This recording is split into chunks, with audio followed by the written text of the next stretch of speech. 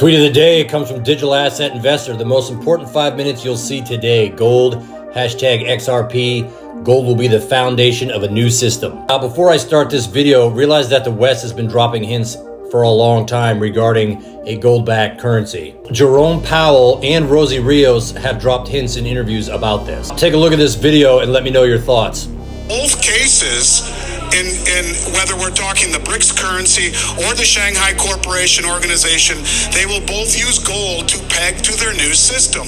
Whether it be a new BRICS currency that will be pegged to gold. Remember, in order to get everyone to the table, all you have to do is say, look at what those bastards in the West are doing. They're going to freeze your assets. They're going to kick you out of SWIFT.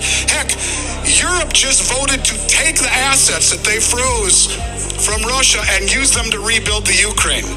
So all of these other countries who, who maybe don't really like what the U.S. is doing, well, that's the rallying cry. It is the gold pegged to a new system that will be the glue that makes it work. So whether it be the BRICS currency or whether it be the petro yuan, which is immediately convertible into gold on the Shanghai Gold Exchange, or the new settlement currency by the Shanghai Cooperation Organization, do you think there's any coincidence? Do you think that this is any coincidence that the central banks have bought more gold? Gold than at any time in the last 55 years. Look at the three countries that are leading the way. Turkey just joined the BRICS. India's in the BRICS. Uzbekistan, Kazakhstan, all of these countries are part of the Shanghai Cooperation Organization. They are preparing for a global shift. We are witnessing a massive de-dollarization. And here's the nail on the dollar coffin. Just came out a few days ago. Saudi Arabia said at this latest meeting that uh, at Davos that they are open to taking other currencies for oil settlement. Why? Because there's strength in numbers. In and of themselves, these countries cannot stand up to the West. But together, they have a bigger GDP, a bigger military presence, and they are indeed coalescing together against the Western hypocrisy, against the Western hegemony, and they are coalescing against the West. It's happening. It's happening. I'm telling you, this is happening. The world is moving to de dollarization. There's no question about that. But let's just play it out for one second, right? What happens? How does it happen? How does the Great Reset that Klaus Schwab talked about happens? Uh, it's really very easy. Saudi Arabia gets up on stage after all of the I's are dotted and all the T's are crossed, and they say to the West, hey, thank you. Thank you for the memories. It's been great. We appreciate the 50 years of protection. But you know what?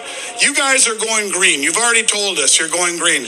We've partnered up with 80% of human population, and they're not going green. And so we're going to open up oil sales in other currencies. Maybe they say we're just going to do it in the new petro yuan, or maybe it's going to be the new BRICS currency, the central bank digital currency pegged to gold.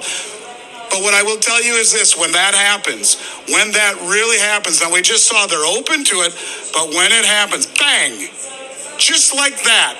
Every country on the planet that's had to own dollars to buy oil will dump those dollars. And a tidal wave, a tsunami of inflation will hit the shores of the West. And when that happens, God help us all, because all of these assets are inversely correlated to what? To a spike in interest rates. When you see that inflationary tsunami hit the shores of the West, you will see a spike in interest rates that has to rise in order to compensate for the loss of purchasing power. The Federal Reserve is a sideshow. They will never raise rates high enough to compensate to, to, to, they will never raise rates high enough to tackle inflation.